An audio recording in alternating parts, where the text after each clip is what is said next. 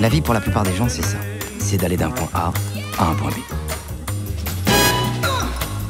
Mais bon, pour moi, euh, c'est pas ça. Moi, j'ai le problème du point B.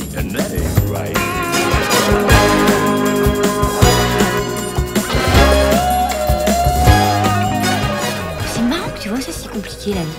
Je suis ici à New York pour pouvoir vivre à côté de mes enfants. Que j'ai eu avec une Anglaise avec qui j'ai vécu 10 ans. En Angleterre, à Paris. J'ai un enfant avec deux lesbiennes. Je suis marié à une chinoise pour pouvoir être américain.